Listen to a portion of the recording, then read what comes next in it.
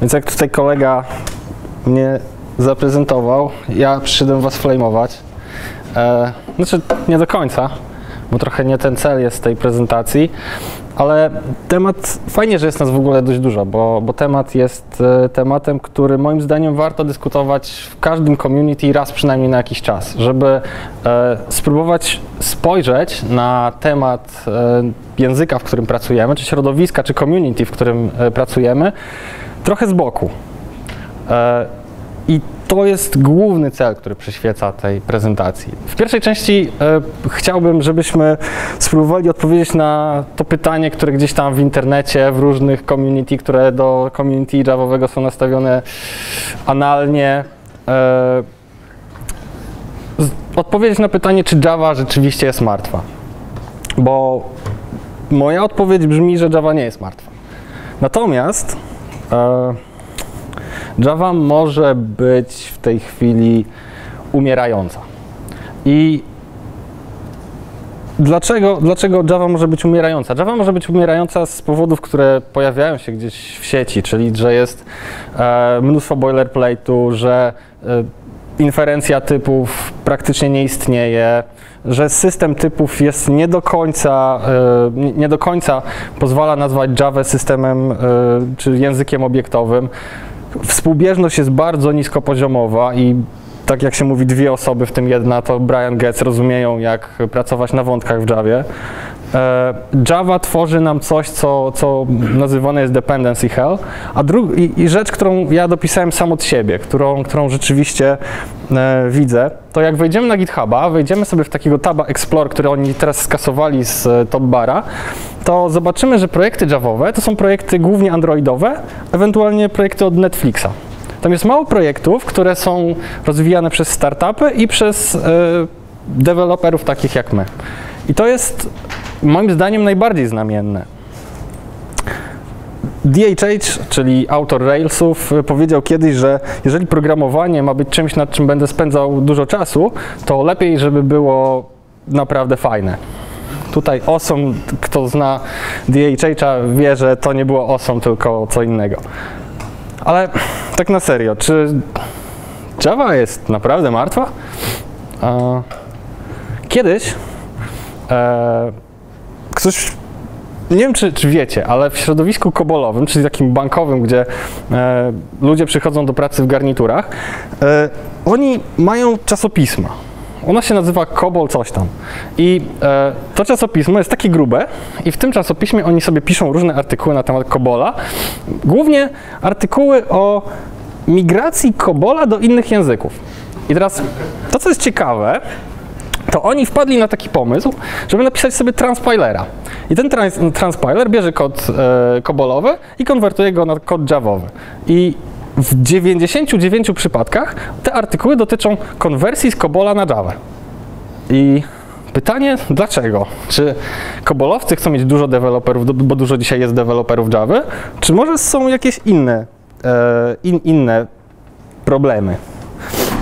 I to jest chyba obok tego, że community, które dostarcza dzisiaj projekty Javowe, to jest community androidowe i enterprise'owe, jest fakt, że Java się nie zmienia. Java się w tej chwili totalnie nie zmienia. Java ma cały czas te same błędy, która miała w wersji 1.0. Na przykład inferencja, y, na przykład e, o tym może za chwilę. E, type erasure. E, ale dlaczego kobolowcy nie wybierają C? Bo C się nie zmienia, a Java jest kompatybilna źródłowo i binarnie od zawsze. I to, o czym wspomniałem, czyli type erasure jest to naprawdę duży problem, którego by nie było, gdyby Java powstała dwa lata później. Gdyby Java powstała dwa lata później, dzisiaj nie mielibyśmy problemu type erasure, który dotyka nas nie tylko w Javie, ale również w Skali i innych językach, które e, działają na, na JVM-ie. Ale w takim razie zróbmy coś i zróbmy tą zmianę, która jest nam potrzebna. Tylko, żeby zrobić zmianę, to tak jak ktoś gdzieś kiedyś powiedział, albo napisał na Reddicie, e, to żeby zrobić zmianę, to trzeba zachęcić tych młodych, szalonych, e, pasjonatów, entuzjastów, żeby oni coś zrobili. I problem polega na tym, że my Dlaczego my tego nie robimy, skoro wszyscy tacy jesteśmy? Każdy z nas jest szalony, entuzjasta, przychodzi rano do roboty, klepie te EJBiki, czy tam Springi, anotacje, autowire'dy i wszyscy chcemy robić zmiany, ale jej nie robimy. Bo to, czego nam brakuje, to jest szczęście. Szczęście w pisaniu kodu w Javie. To jest tak proste. To jest to, co powiedział DHH, że rzeczywiście my dzisiaj nie odczuwamy przyjemności z pisania kodu w Javie. My odczuwamy przyjemność z tego, że dostarczamy kod, który działa, ale nie odczuwamy przyjemności z tego, że piszemy kod w Javie. I to jest problem, bo my jesteśmy w tej chwili profesjonalnymi grzesznikami, a nawet enterprise'owymi grzesznikami. E, Sinners Enterprise Edition. I jakbym chciał was strollować, to bym napisał kawałek kodu, który będzie drop while'ował rzeczy, którą dorzucę sobie tutaj jakąś funkcję, która będzie odrzucała kolejne e, wartości, które, które sobie wymieniliśmy jako wartości, które pozwolą nam e, być, wprowadzić zmiany. Więc druga część. Druga część jest o nas, nie o was, o nas, bo ja też się włączam do tego grona i to, że kolega tutaj mówi, że będę flameował, to trochę flameuje też na siebie ale tak już mam. I to są nasze grzechy. Pierwszy to jest ignorancja. I przede wszystkim, kto z Was na co dzień korzysta z Shella? Podejrzewam, że mało kto, bo Java deweloperzy żyją sobie w takim wygodnym świecie pod tytułem IDE. I w tym IDE wszystko jest łatwe, bo się najedzie myszką, kliknie, to się zrobi. 10 minut później mamy e, odpalone unit testy. I My ignorujemy Shella, a w, jak popatrzeć za płot, inne community bardzo z tego Shella korzystają. I Shell się zmienił bardzo mocno. I już dzisiaj nie mamy czarnego ekranu i zielonego tekstu, albo zielonego ekranu i czarnego tekstu po, po naciśnięciu przycisku odwracającego kolory w monitorze. Dzisiaj mamy rzeczywiście multiplexery terminali, czyli w jednym oknie rzeczywiście mamy mnóstwo, czyli tak jak kiedyś screen, tylko że fajniej, T-Max, sexy. E, mamy fajniejsze e, powłoki, ZSH z bardzo fajnym frameworkiem Presto, czy edytory SpaceMaxy, który łączy Vima i Emaxa w jednym. E, e, I prawda jest taka, prawda jest taka, że bez umiejętności posługiwania się shellem jesteśmy tylko deweloperami. A my nie możemy być tylko deweloperami, bo dzisiaj nastały czasy DevOpsowe. I dzisiaj musimy wiedzieć troszeczkę więcej. Dlatego ja polecam, żeby każdy spróbował wyczekautować sobie repo, e, które, które zrobił e, Tyler bodajże. Na repo znajduje się na GitHubie. To są jego defaultowe, bardzo wygodne rozwiązania, które wystarczy zaczekautować, uruchomić Rejka, czyli build toola, o którym będzie potem za chwilę, uruchomić Rejka i mamy zainstalowane totalnie fajne środowisko. Nie musimy robić nic. I mamy fajne prompty, mamy e, mega wygodne środowisko. To, co daje nam jeszcze Shell, o czym jako Java deweloperzy bardzo często zapominamy, to są właśnie szybki feedback z testów, co jest strasznie fajne, między innymi w community rubiowym, czy w community skalowym, gdzie możemy sobie odpalić build toola z tyldą i on nam wypluwa na bieżąco odpowiedzi, które możemy podpiąć chociażby pod Growla, czy inny system notyfikacji. E, a druga rzecz to jest REPL. I REPL Driven Development to jest coś, czego najbardziej mi brakuje, kiedy muszę zrobić coś w Javie. Bo zanim podejdę do e, napisania testu, chciałbym sobie zweryfikować, czy rzeczywiście idea, którą mam, e, nie jest myląca i czy, czy, ten test, który ja napiszę, to rzeczywiście nie będzie tam coś tam niepotrzebnego. Może rzeczywiście ja chciałbym spróbować to API, tamto API i zobaczyć, jaki będzie efekt. E, w Javie 9 będzie REPL i możecie dzisiaj już sprawdzić, jak ten REPL działa. W miarę.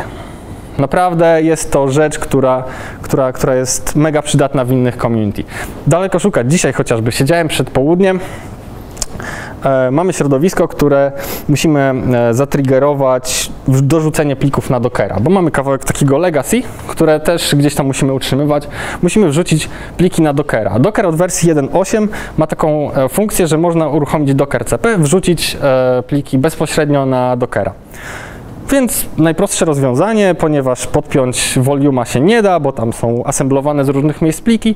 W związku z tym e, stwierdziliśmy, że zrobimy sobie prostego garda. To jest taki gem rubiowy, który odpalamy, on watchuje nam na plikach i wszystko będzie fajnie.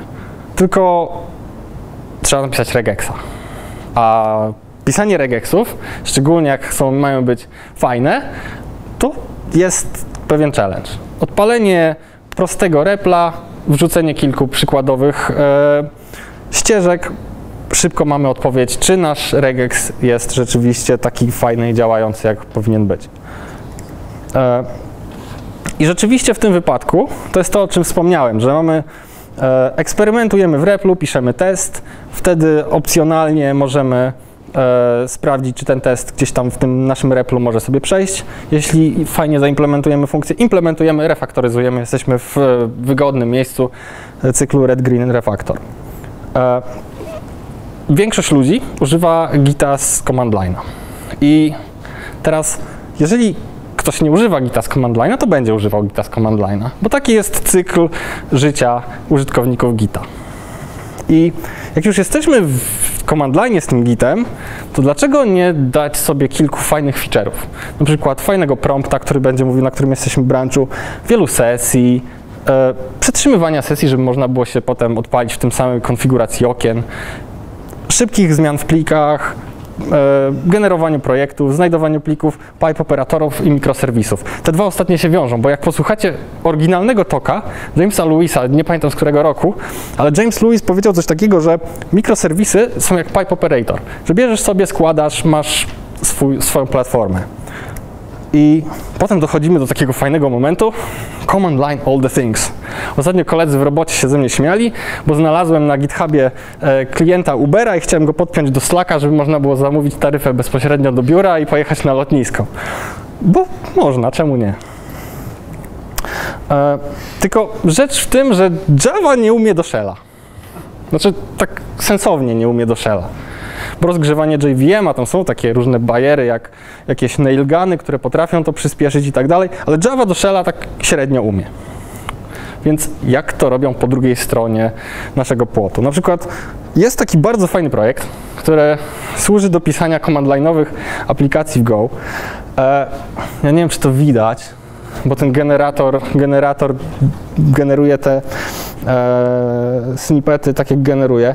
Natomiast ten kod nie jest jakoś specjalnie wiele lepszy niż ten kod w Javie. Te slajdy gdzieś tam wrzucę, e, więc będziecie mogli to obczaić, ale nie ma co się nad tym skupiać. Ale e, ten kod nie jest aż tak wiele lepszy niż ten w Javie, ale działa wiele lepiej. E, są inne opcje. Commander rubiowy, zwykły shell albo scopt, jak ktoś lubi skalę, ale wracamy do samego problemu odpalenia i rozgrzania JVM. Inna rzecz, o której zapominamy, to jest zarządzanie wersją. Zarządzanie wersją Java. Jak mamy Rubiego, to możemy sobie ustawić, że wersja w danym kontekście, czyli w naszym katalogu jest 2.2.3, potem używamy tej 2.2.3, w innym katalogu, w innym projekcie używamy sobie 2.2.4, a ustawiamy potem, że defaultowa wersja jest 2.2.0. W Java mamy jedną Java, mamy jedno Java Home i to wszystko działa czasami. E pod warunkiem, że macie zasytapować nowy komputer i nie używacie do tego na przykład Ansible'a czy jakiegoś innego Salta. Jest taki projekt e, napisany w Chinach i przez gościa, który ma na GitHubie e, login Linux China, e, ale, ale ten projekt jest, jest bardzo fajny, bo jest jeszcze alternatywa, ale ten projekt jest o tyle fajny, że mimo tego, że on jest taki jaki jest e, pod względem implementacji, to bardzo dokładnie mapuje zachowania RVM-a. Czyli możemy bardzo podobnie y, zarządzać wersjami na naszym OS-ie. Polecam skorzystać, zobaczyć. Możecie wtedy w łatwy sposób odpalić swoją aplikację na przykład na Java 9. Dystrybucja aplikacji. Więc dystrybuujemy aplikacje na kilka sposobów. Jako pakiety OS-owe, jako FATJary z ewentualnie embedowanymi serwer, z serwerami i kontenery. I nie bez powodu nie ma tutaj serwerów aplikacyjnych, bo serwery aplikacyjne są martwe. To jest jedna rzecz, którą musimy powiedzieć sobie wprost. Serwery aplikacyjne są martwe z jednego prostego powodu, bo serwery aplikacyjne e, mają to do siebie, że powstały w czasach, kiedy potrzebowaliśmy odpalić wiele aplikacji na jednym, e, na, na jednym hoście, ale nie mieliśmy do tego zasobów, bo nie wiedzieliśmy jak tym pozarządzać, jak wyseparować i tak dalej, i tak dalej. Ale dzisiaj rzeczywiście mamy inne możliwości, żeby to zrobić, a i tak koniec końców kończy to w, w tej chwili w natywnej pamięci, bo przecież permgena już nie ma, prawda? Także e, to, co jest jeszcze ciekawe o tych trzech opcjach deploymentu, ja osobiście w tej chwili deployuję to jako kontenery, natomiast e, bardzo fajny projekt jest, ja go też gdzieś podlinkuję. E, on się nazywa JDEP. To jest projekt, który e, dorzucamy sobie do Mavena plugin, jak ktoś używa Mavena, a większość pewnie używa Mavena. Ewentualnie możemy podrzucić go do Gradle'a e, i on nam generuje RPM-y, deby i inne takie cuda na kiju, które możemy sobie łatwo z poziomu hosta zaciągnąć, odpalić, działa.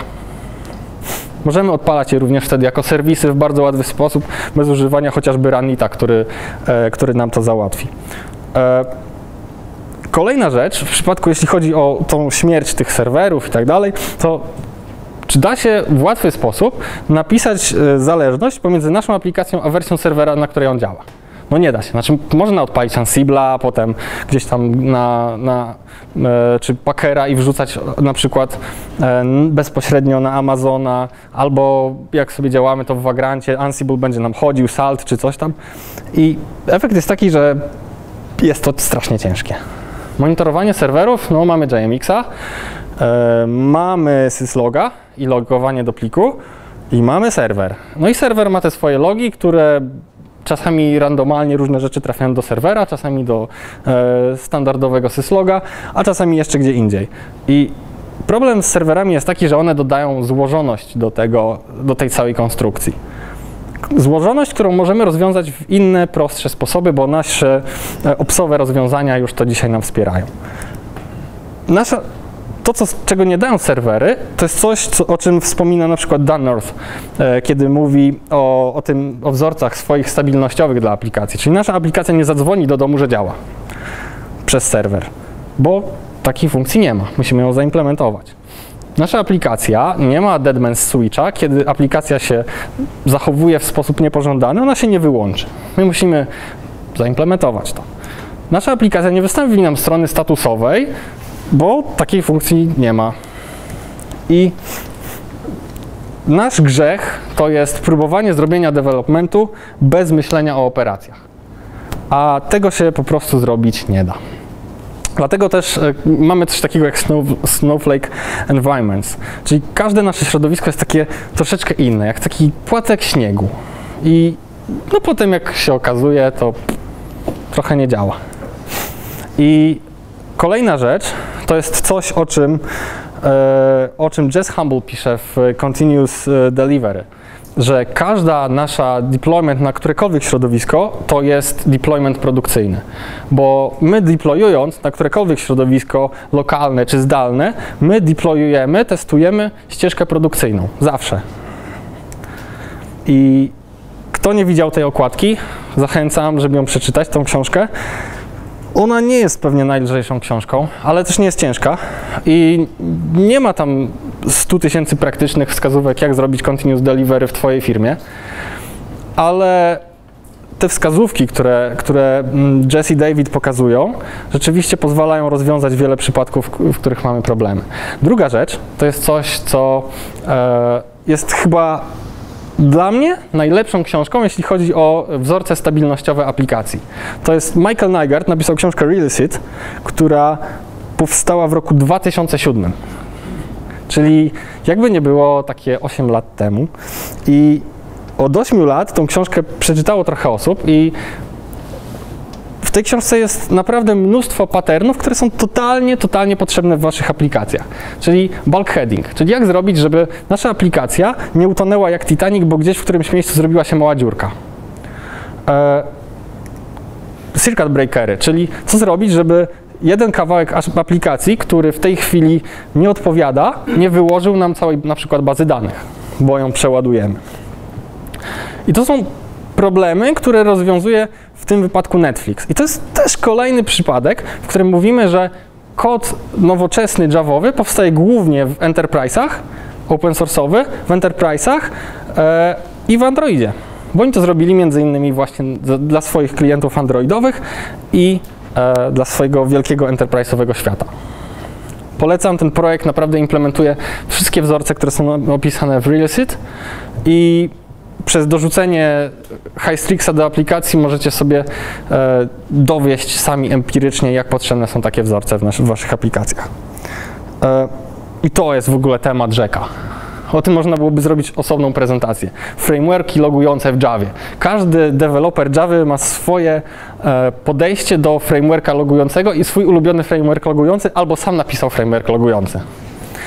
E, rzecz w tym, że ja, ja pamiętam, byłem kiedyś na szkoleniu e, i była taka rozmowa, że no słuchajcie, bo ja to w sumie jak piszę aplikację, to było akurat w kontekście Rubiego, e, no to loguję sobie putsem do std auta, a potem przekierowuję sobie do sysloga i admini mają nasze logi. W tym momencie w drugiej części sali siedziała grupa e, miłośników rozwiązań klasy Enterprise, którzy stwierdzili, że jak można logować do std auta. Logowanie do std auta jest logowanie do std auta, my logujemy e, za pomocą login frameworka i ty też powinieneś logować do, za pomocą login frameworka. Dlaczego Java util login jest zły? Mm. I to jest, to jest właśnie ignorancja. My decydujemy się na pewne rozwiązania, bo tak decydowały pokolenia przed nami. A problem polega na tym, że pewne rzeczy musimy zakwestionować. Jest jeszcze jedna rzecz, o której chciałem wspomnieć. To jest... E, coś, co moim zdaniem jest najfajniejszym formatem logu, jaki e, można sobie zażyczyć. To jest format, który jest grepowalny. To jest format, który e, jest łatwy do przeszukania w elku, który łatwo jest przeparsować. I to jest format, który wypracowaliśmy razem z kolegą, z Bartkiem. E, I rzeczywiście fajnie się sprawdził. Ja od tamtej pory zmieniłem robotę. Cały czas stosuję ten, e, ten format, bo rzeczywiście fajnie się sprawdza. Jeszcze jedna rzecz. Jeszcze jeden grzech, który popełniamy bardzo często, to używamy rozwiązań łatwych, a nie prostych. Jest bardzo fajna prezentacja e, autora Closure na temat właśnie jak zrobić e, Simple Made Easy. E, I polecam tą prezentację, bo to jest prezentacja, która właśnie kwestionuje pewne status quo, jakie istnieje w, we wszystkich community e, odnośnie tego, co wybieramy jako nasze rozwiązanie. I pierwszym, najważniejszym grzechem w naszym community odnośnie wybierania rzeczy łatwych, a nie prostych, prostych, a nie łatwych, jest wybieranie build tooli. Używanie Mavena Używanie Mavena sprowadza się do napisania kawałka XML-a. E, no, jest taki tak project, w którym siedzi sobie cała konfiguracja. A potem jest taki tak project, potem jest 1500 linii kodu i się kończy konfiguracja. To nie jest e, wymyślony przeze mnie numerek. To jest jeden z open source'owych projektów, który sobie istnieje, w którym ja też miałem okazję napisać kawałek kodu, na szczęście nie dotykając Mavena. E, i to jest 1565 linii w parent pomie.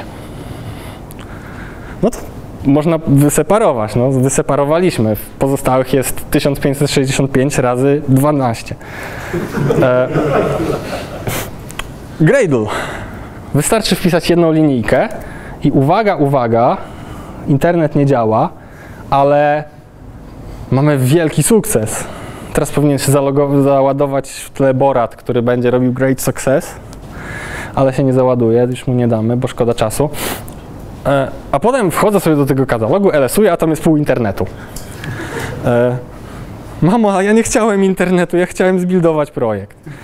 E, I siłą rzeczy jest prezentacja, o której wspomniałem, Jamesa Lewisa, o mikroserwis, o aplikacjach The Unix Way, e, w której on wspomina między innymi zapytany o to, czego on używa do buildowania aplikacji e, Javowych, on mówi, że Anta.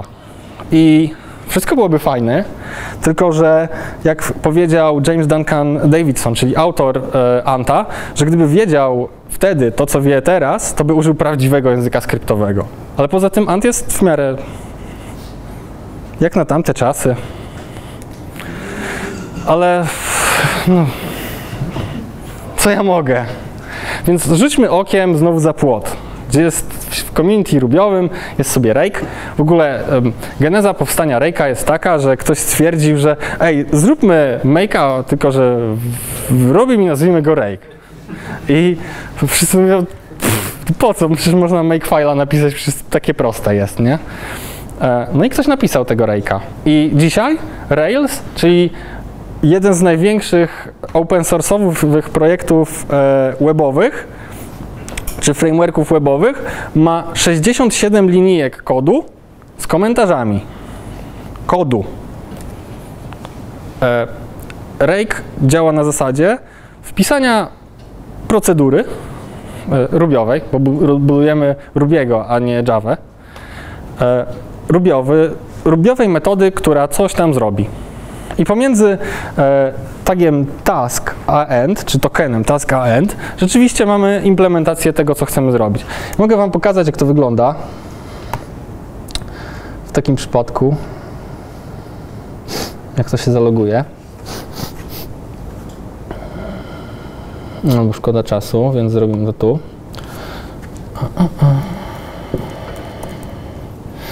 No, to jest e, rake file do buildowania projektu. E, on ma, widzicie, tu są niektóre taski po prostu przekierowują na inne taski, Niektóre taski watchują nam pliki, czyli tak jak sobie odpalimy e, SBT test only na przykład, to dostaniemy mm, analogiczne zachowanie puszczające testy na zmienionych plikach, smoke, smoke testy, wygenerowanie i wyplucie dokumentacji na produkcję. To jest wszystko. Breakfile. Polecam. Wracamy do prezentacji, gdziekolwiek ona była. Tu była. E, I jest jeszcze jedna rzecz, która jest jeszcze fajniejsza niż Rake. To jest coś, o czym Dave Thomas napisał książkę i robi prezentację przez ostatnie ileś tam e, miesięcy albo lat. Robi prezentację o Elixirze. Że Elixir jest najbardziej sexy rzeczą, jaką on poznał w życiu, od kiedy poznał Rubiego. E, i Elixir ma to do siebie, że został zaplanowany razem z wbudowaną ideą tego, że język i instalacja języka powinna być self-contained. Czyli instalując język dostajemy menadżer pakietów, instalując język dostajemy totalnie podstawowe funkcje, które są potrzebne do e, działania mm, jako deweloper. Czyli instalujemy menadżer pakietów, kompilator, e, generator projektów i dokumentację. Jak wygląda Elixir? w tym wypadku. Wygenerowanie projektu robimy mix new, nazwa projektu, nazwa modułu. Edytujemy sobie nasze dependencje, ściągamy dependencje, ponieważ y, jest framework full stackowy, ale nie robi nic z asset pipeline'em, tylko używa standardowych rozwiązań ze świata JavaScriptowego dla frontendów, używamy npm-a. Żeby nie być gołosłownym,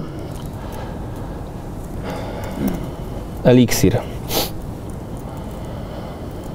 Gdzie ja mam tutaj? O, tu, sorry. Co jest? Coś mi się tu... Bufory... Dobra, jest.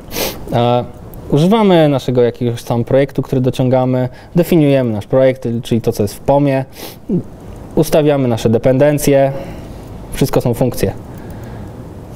I tyle. To, co jest ciekawe, to jest... E, to jak podobny jest e, Elixir w tym, czy Mix w tym zakresie do Rejka. Jak zauważycie sobie tutaj, w tej linijce, która jest podświetlona, jest taka śmieszna strzałeczka, a potem są jakieś jeszcze inne takie znaczki. E, to nie jest skalas, swoją drogą. E, te znaczki definiują nam, jak zachować ma się mix w kontekście update'ów wersji na kolejnych numerach wersji ponieważ wersjonowanie jest semantyczne, czyli jeżeli zrobimy sobie taką strzałkę, no to wiadomo, że wersja będzie większa, równa od 000. Natomiast jak zrobimy coś takiego, to wersja będzie większa od 1.0, ale mniejsza od 1.1. Czyli automatycznie mamy dociągane patche. Strasznie fajne rozwiązanie. I to też jest pewna różnica pomiędzy community naszym Javowym, a community rubiowym, elixirowym, czy wieloma innymi, tutaj Python niestety jest obok nas, e, że zanim my się zupgrade'ujemy do czegoś, to najpierw będziemy rozmawiali o tym upgrade'zie przez pół roku, rok, dwa lata, wyceniali ile będzie kosztował ten projekt, a jak Mats napisze na Twitterze, że słuchajcie, zmieniamy Rubiego, będzie wersja 2.2, która będzie niekompatybilna wstecz do wersji 2.1, to na Twitterze zaczyna się, ej, dlaczego tak późno? I to jest pewna różnica. I czasami warto się zastanowić, jak to jest zrobione, że im się udaje, a nam nie. E, dobra. Zarządzanie e, zależnościami. Wspomniałem już o Mavenie, więc pozwolicie, że więcej nie będę mówił, bo... Więc e, w community rubiowym, znowu wróćmy tam, to nie jest tak, że ja mówię, że, że Ruby jest językiem idealnym. Nie mówię, że Ruby jest językiem dobrym. Ruby jest językiem innym. I oni pewne rzeczy robią w inny sposób niż my. I warto podpatrywać. Oni zrobili bundlera. Kolejny projekt, kolejny szalony projekt zrobiony, bo tak, który spowodował, że oni instalują pakiety właśnie w ten sposób. Powstaje sobie pliczek, który się nazywa gemfile, do którego wrzucają sobie pojedyncze linijki z definicjami, że chcemy sobie projekt z GitHuba, chcemy sobie projekt w takiej wersji, chcemy projekt najnowszy. Po prostu. Żadnych komplikacji. E, o Elixirze trochę wspomniałem. Tutaj jest cały plik. E, dobra, to teraz zaczyna się. Web frameworki i Java. Czy wiecie, no w ogóle ja nie wiem, kto jeszcze dewelopuje frameworki javowe, tak stricte javowe, webowe, e, bo goście od Playa, oni mieli przecież framework javowy, nie? wersja druga jest już napisana w skali, w 100%. I to też jest pewien symptom nadchodzącej zmiany. E, bardzo ciekawy zresztą. I to jest obserwacja, którą ktoś kiedyś zrobił, że e, dzisiejsze, czy istniejące do tej pory frameworki Javowe e, możemy odciąć grubą linią gdzieś na wysokości Drop Wizarda, który jest de facto zbiorem e, kilku bibliotek e, i Radpaka, e, JHipstera. To są jakby trochę inna, inna e, para kaloszy. Natomiast to, co powstało wcześniej, te wszystkie Springi, Annotation Driven Programming, one miały to do siebie, że hakowały architekturę HTTP. I żaden framework, nawet najlepszy, nie jest w stanie wygrać z architekturą HTTP. Bo architektura HTTP jest tak skrajnie ukierunkowana na konkretne rozwiązania, że jeżeli próbujemy zrobić coś innego, to dostajemy SOAPa. A SOAP nie był fajny. SOAP to były XML, które robiło się getem, jakby ktoś jeszcze nie już nie pamiętał. E, I był strasznie fajny flameware. Nie wiem, czy ktoś obserwował, ale był taki flameware pomiędzy Joshem Longiem z Springa, a e, Rezą Ramanem z Oracla e, odnośnie JSF-ów. Normalnie mówię wam. Polecam, tutaj jest link, w prezentacji będzie, będzie można sobie kliknąć, prze, przeczytać. Niestety Reza Raman skasował wszystkie swoje tweety, bo, bo tak. Może, może E, korporacyjne, oraklowe policy nie pozwoliło ich zostawić. Ale, ale e, ogólnie dyskusja była o tyle ciekawa, że, że właśnie sprowadzała się do porównania rozwiązań typu JSF, czyli rozwiązań, które w staku siedzą nad innymi rozwiązaniami typu serwlety, zanim dostaniemy HTTP, i ten, ten kawałek HTML-a do rozwiązań e, bardziej nowoczesnych, rozwiązań innych przede wszystkim, czyli, czyli gdzieś rozwiązań javascriptowych, HTML-owych, Bowery, Granty i te bajki. Bardzo ciekawa dyskusja, może gdzieś na web archiwie można ją odzyskać. Spring. Kto zna stronę Annotation Mania, e, na której pod którą widnieją trzy bardzo znamienne nazwiska. E, jednym z autorów na tej stronie jest e, bodajże Paul Ciusano, który napisał Functional Programming in Scala.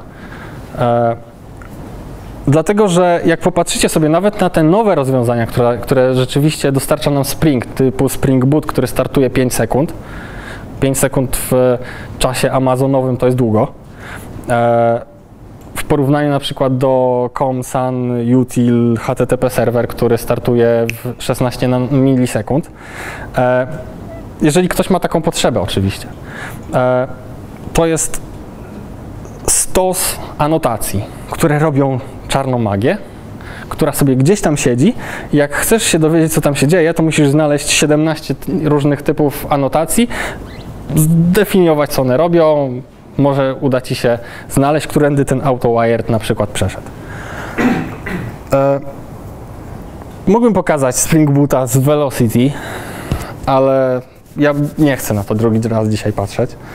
E, więc Drop Wizard. Drop Wizard jest czymś, co rzeczywiście zachowuje pewien balans. Zbiera biblioteki bez specjalnego e, kleju pomiędzy tymi bibliotekami. Ten klej jest naprawdę czytelny, nie ma magii, nie ma magicznych anotacji, nie ma 17 poziomów bibliotek, które ściągane są z internetu razem z całą armaturą łazienkową.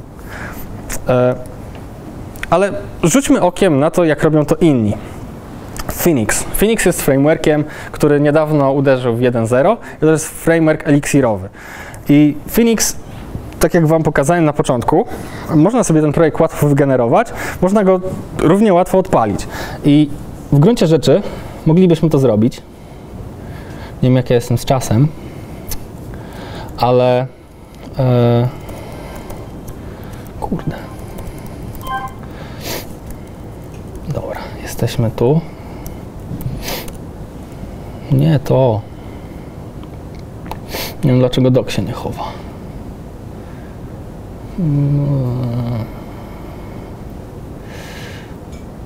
Dobra, niech on będzie z boku, to nie będzie nam tak przeszkadzał.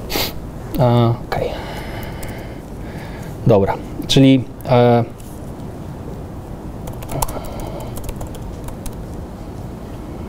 żeby było pewne, tu serwer. A, dobra. Standardowy e, projekt, który w tej chwili każdy e, framework webowy robi, to jest e, napisanie czata w okienku przeglądarki. Ale ja nie to Wam chciałem pokazać.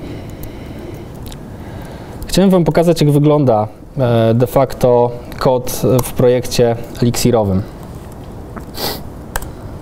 Tutaj, jak rzucicie okiem na tą strukturę e, katalogów, ona jest, e, większość to są pliki wygenerowane, ale e, do zmodyfikowania. Natomiast to co, jest, to, co jest ciekawe, ona jest dość podobna do struktury, która istnieje w projektach, e, w dżemach, na przykład rubiowych. Dobra. Kod wygląda mniej więcej tak. To jest, ten projekt jest naprawdę na maksa e, wykomentowany, żeby było dość oczywiste, co on tam wszystko e, robi. Ale to, co jest, to, co jest cie- ciekawe, e, ten projekt sam potrafi się obserwować. I wszelkie zmiany również są replikowane w środowisku webowym.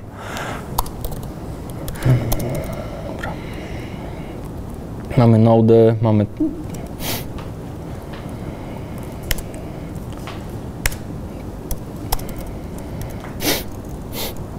Proszę bardzo. Możemy używać e, standardowego Live Reloada, który możemy zainstalować w przeglądarce. Bardzo ciekawe rozwiązania, na które warto rzucić okiem, e, bo dają pewne odświeżające spojrzenie. Ja nie będę tutaj specjalnie wnikał w to, bo, bo szkoda czasu, ale, ale polecam zajrzeć do tego, ja to też podlinkuję. Jest jeszcze jedna taka rzecz, która czasami mnie boli, szczególnie jak e, rozmawiam z ludźmi e, gdzieś na rozmowach kwalifikacyjnych, to czasami, ja wiem, ja, ja strasznie nie lubię rozmów kwalifikacyjnych ani z jednej, ani z drugiej strony, bo e, jak ktoś mnie pyta, czy, czy, czy na przykład e, znam Hibernate'a, jeżeli ja nie lubię Hibernate'a, powiem, że nie znam Hibernate'a, ale e, ale rzecz jest taka, że bardzo często e, wierzymy w pewne idee, które wydają się być generyczne. I strasznie łatwo jest popaść w, taką, e, w takie hołubienie pewnych koncepcji i stosowanie ich wszędzie, gdzie się da. Na przykład wzorce goffowe są, wzorce Gang of Four są wzorcami, które nijak nie pasują do niektórych rozwiązań, szczególnie kiedy przechodzimy w bardziej funkcyjne klimaty. E, I to jest bardzo ciekawe, że kiedy, kiedy zaczynamy się zastanawiać, na przykład, jak e, zaimplementować bridge'a i czy implementować bridge'a w naszej aplikacji, która jest w gruncie rzeczy gdzieś tam funkcyjna, e, to okazuje się, że pff, no, zrobimy bridge'a, a czemu nie? Ale przecież to można prościej, przecież można funkcję. Nie, no po co? E, dobrze jest znać wzorce, ale trzeba pamiętać, że jeszcze ważniejsze jest zrozumienie, bo o wzorcach można sobie doczytać, ale rozumienie samych wzorców, dlaczego one są tak skonstruowane, po co one są i kiedy ich używać, jest znacznie bardziej ważniejsze, zna, znacznie ważniejsze e, niż, niż same wzorce i te diagramy i inne e, nazwy plików. Chociaż nazwy plików są bardzo ważne, bo przecież chodzi o komunikację, prawda? Nie chcę też e, specjalnie wydłużać, bo dzisiaj był dość e, długi wstęp, ale chciałbym zostawić Was z takimi, z takimi kilkoma ideami, żeby zawsze pamiętać o tym, że nasze narzędzia musimy update'ować, bo z jednej strony fajnie jest żyć w świecie, który jest wygodny i zawsze będziemy mieli w nim Mavena, ale z drugiej strony chaotyczne jest, kiedy na przykład w świecie JavaScriptowym, nie wiem kto z Was obserwuje, co tam obserwował, czy co się dzieje w świecie JavaScriptowym, to na przykład e, Grant i Gulp powstały mniej więcej w tym samym czasie i bardzo szybko jeden zastępował drugiego. Należy patrzeć za płot na inne języki. Java nie jest językiem idealnym. Java, tak jak na początku chciałem powiedzieć, jest językiem umierającym. Jak popatrzycie też na Tiobi Index, on jest cały czas opadający, mimo tego, że Java jest na pierwszym miejscu. Ale niektóre języki spadały z drugiego na 14 miejsce przez 10 lat. E, kwestionujcie wszystko, co się da. Kwestionujcie e, Springa, kwestionujcie anotacje, kwestionujcie logging frameworki, bo to jest realna wartość. Zabijcie to, co jest stare i przede wszystkim to, co najważniejsze, to bawcie się tym, co robicie. A jeżeli ktoś nie pozwala wam się bawić, nie czujecie, że się bawicie tym, co robicie, to znajdźcie miejsce, gdzie będziecie e, to mogli zrobić. Chyba, że rzeczywiście potrzebujecie kasy, a w Enterprise dobrze płacą, to róbcie to po godzinach. Ale róbcie to, bo to jest najważniejsze.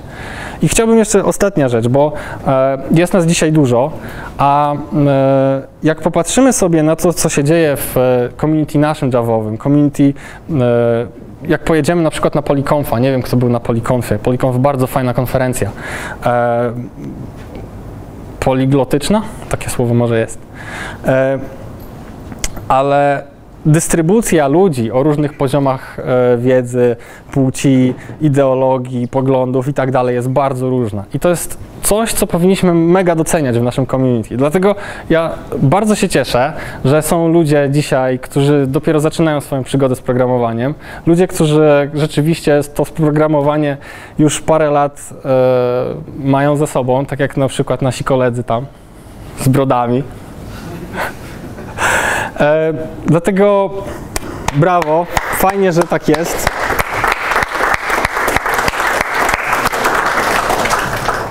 I ostatnia rzecz. W community rubiowym jest taka, e, ktoś stworzył taki akronim, Minas One.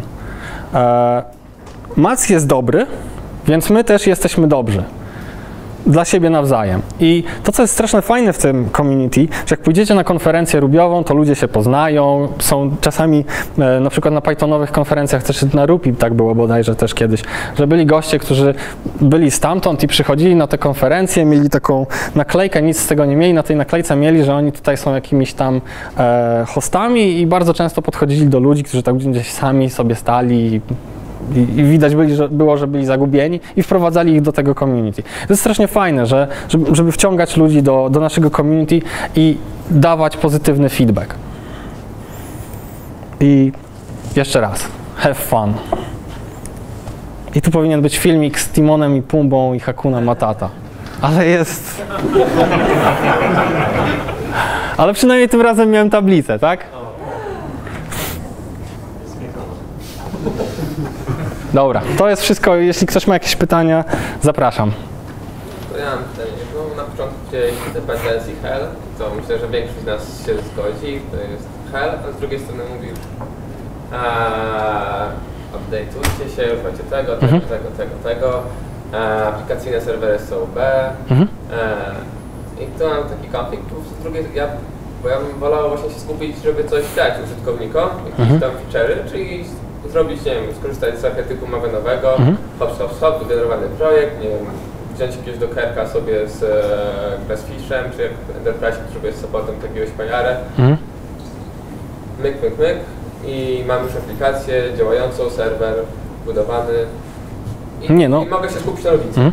Ja się zgadzam z ideą, że należy y, jakby de facto skupić się na logice, a nie sklejać ze sobą kawałki, ale trzeba też pamiętać o tym, że e, ta aplikacja będzie z nami żyła przez długi czas. I to nie jest tak, że jeżeli ty napiszesz raz tą aplikację i ona nie jest mikroserwisem i tak jak mówi Dan North, że e, średni czas półżycia aplikacji powinien być powiedzmy dwa miesiące, e, to ta aplikacja będzie z tobą żyła i ktoś potem przyjdzie i będzie w niej coś grzebał.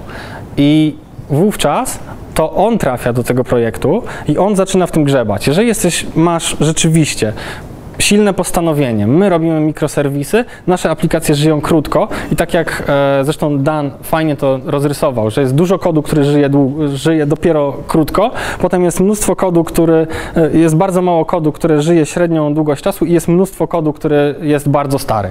I teraz, jeżeli pamiętasz, że taka jest dystrybucja tego, ok, jeżeli chcesz, wiesz i się z tym zgadzasz, to fajnie. Tylko pamiętaj, żeby ten kod nie trafił do tego ostatniego e, elementu, nie? No to akurat, że e, należy dbać o update'y, spoko, tylko to też jest duży problem, e, nie wiem jak ty sobie z tym radzisz, zadbaj o to, że jak wrzucisz, nie wiem, nową wersję Hibernate'a, albo czegokolwiek innego, to czy to się nie rozwali w którymś momencie, bo na przykład w Hibernate jest jakiś tam błąd, który akurat teraz się objawił w tym kodzie. Ale możesz też trafić w innej wersji na to. I cały, cały clue tego, e, o czym też ja mówię, jest to, że tak naprawdę budując sobie taki mindset, e, ty trochę inaczej konstruujesz e, też sposób, w jaki dostarczasz te aplikacje. Jeżeli jest tak, że Twój czas reakcji na odkrycie błędu pozwala Ci na pójście właśnie w kierunku ciągłego update'owania, e, rób to. Jeżeli robisz korporacyjny soft, który ma 40 lat i, i, i będzie istniał w banku za kolejne 10, e, wówczas musisz inaczej zbudować swój pipeline, który pozwoli Ci zapewnić jakość. Niekoniecznie oznacza to, że będziesz miał 5 dziewiątek na przykład, ale oznacza to, że powinieneś zapewnić taką procedurę, która Ci na to pozwoli. Okej, to jeszcze jedno pytanie, mam okazję zadać, bo Rubiego w ogóle nie znam. A, natomiast Java tak. W Javie, jeżeli robimy jakiś soft interface'owy, na przykład tak, robimy, robimy sobie kod, robimy Wara Mhm.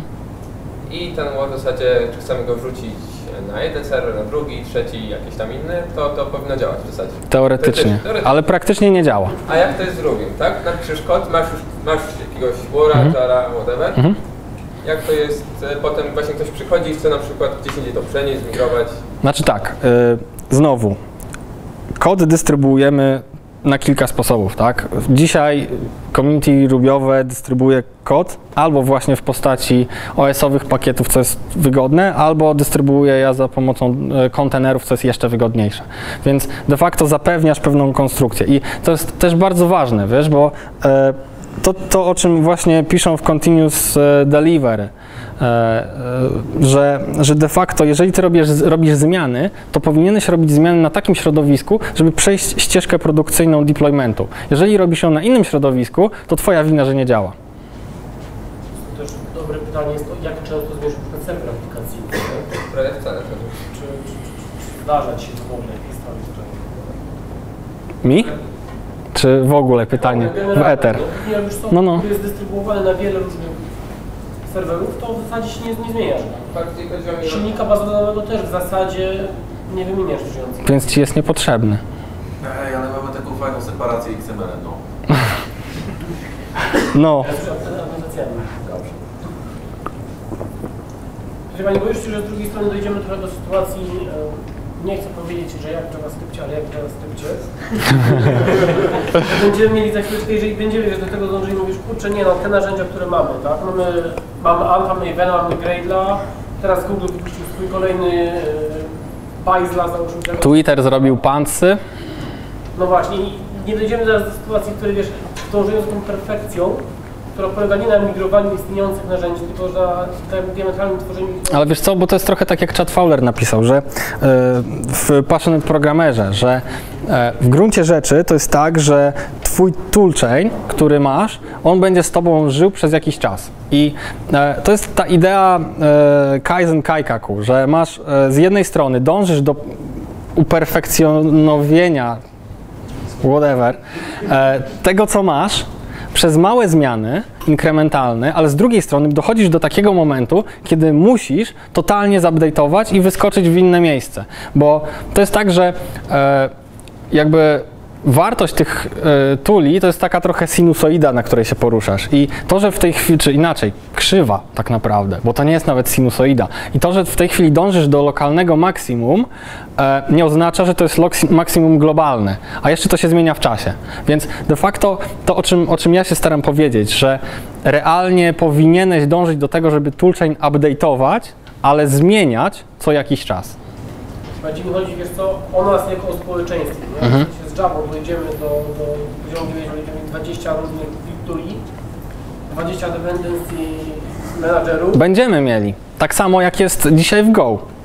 Bo masz Gopa, e, czy Goma, Gopma, GoGeta i jeszcze jest, każdy deweloper ma swojego. Tak samo jest, każdy utrzymuje swoją, e, swój mechanizm zarządzania e, kontenerami dockerowymi.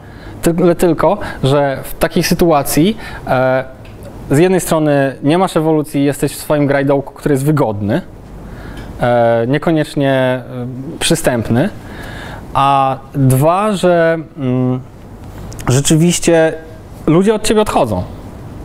Nie? Bo twoje narzędzia nie przystają do czasów. I ludzie nie przychodzą, co gorsza, bo odchodzą pół biedy. Tak to, to się zdarzyło kiedyś, tam kiedyś, jak e, część deweloperów uciekła z PHP do Rubiego, a dzisiaj ludzie odchodzą z Rubiego do Elixira i do, e, i, i do Go. Ale to jest proces, który się dzieje i na przykład Venkat miał bardzo, fajną, bardzo fajnego e, keynote'a na zakończenie któregoś e, Geekona, na którym właśnie opowiadał o tym, jak, e, jak te języki e, w czasie ewoluują i jak na siebie różne community patrzą. I to było zilustrowane przez takie zdjęcie, gdzie były dwa psy, jeden sikał na drugiego i te psy miały różne logo różnych języków narysowane. A potem się odwracało, że potem inny język, no wiecie o co chodzi. Dlatego Narzekałeś trochę na wsteczną kompatybilność Java. tak. E, ale to, jest kwestia kompromisu przecież. No jest kwestia kompromisu. Tak, są plusy, są plusy i minusy. Yy, tyle tylko. Korzystałeś kiedyś z wektora?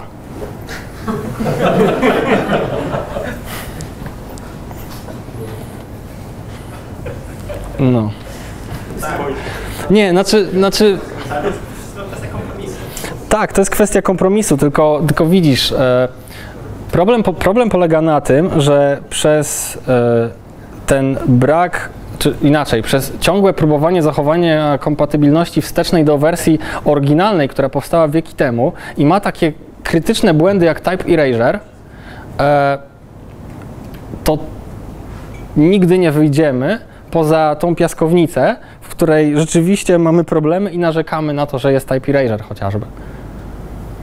I czasami rzeczywiście, ja nie mówię o, o tym, żeby dzisiaj zachowywać się tak jak community rubiowe, jest, wreszcie coś zepsuliśmy, tylko, e, tylko podejść do tego w ten sposób, że trzeba być świadomym tego, że jeżeli chcemy, żeby nasz język się rozwijał, to nie możemy, nie możemy żyć w takim świecie, w którym e, będziemy wiecznie kompatybilni wstecz, bo gdzieś jakiś bank używa wektorów.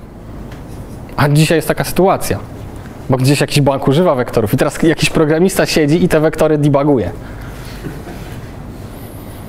Tak i nie, bo z drugiej strony jak tak spojrzysz, że masz kompatybilność wstecz, to jednym z powodów, dlaczego nie koduję w skali, jest, e, jak robiłem kurs Oderskiego, to przestały mi działać przykłady z początku kursu. Tak, tak, Jak miałem update'ować wszystkie biblioteki świata, to nie kodował bibliotek Tak. świata.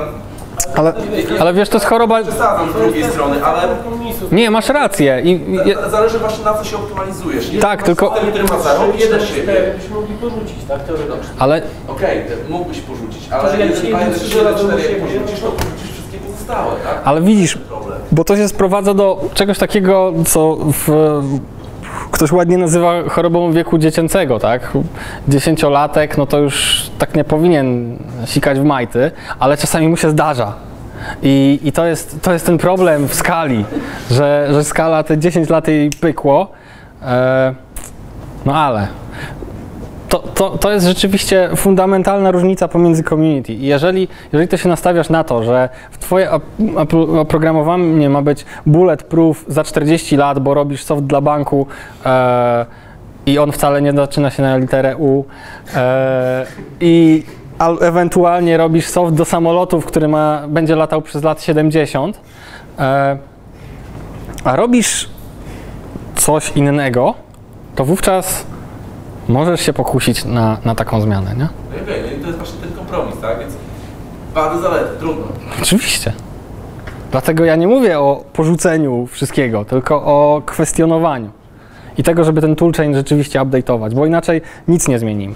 Nie no, bo Java trochę idzie do przodu.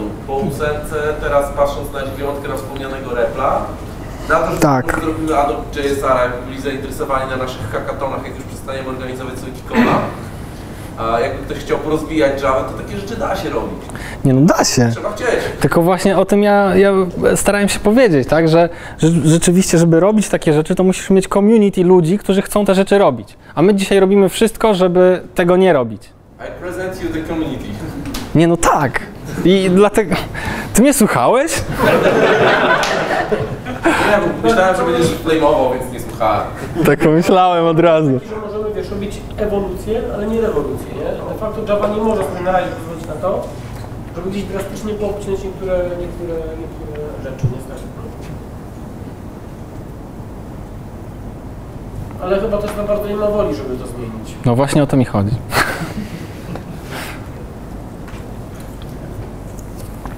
Ktoś jeszcze? Dobra. Ignorancja, o której wspomniałeś. Tak. Oczywiście to jest wina bardzo, bardzo wielu ludzi. Ja bym wcześniej nazwał głupotą e, niż ignorancją. Dlatego, że się bierze na to, to, co powiedzą ludzie z góry, nam się o tym nie myśli.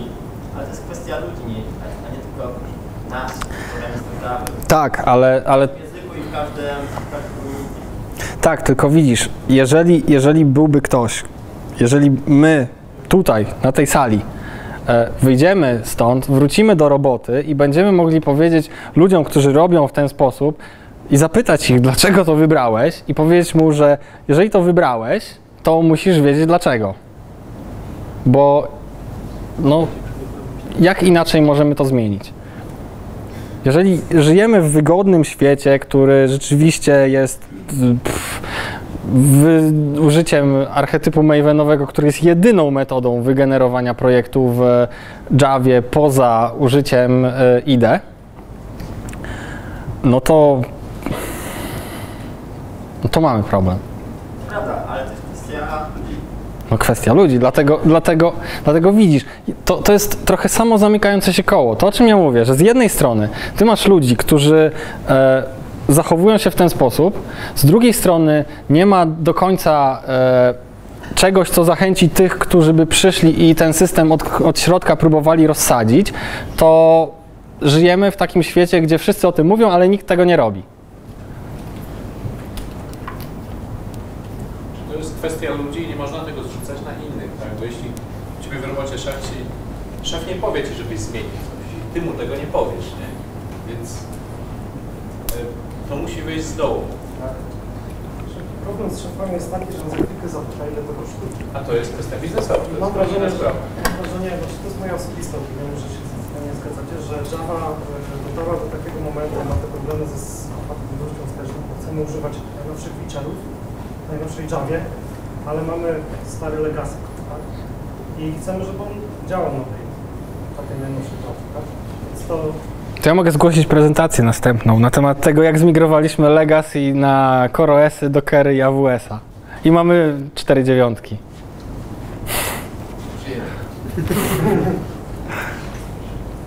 O ile mnie chcecie jeszcze tu.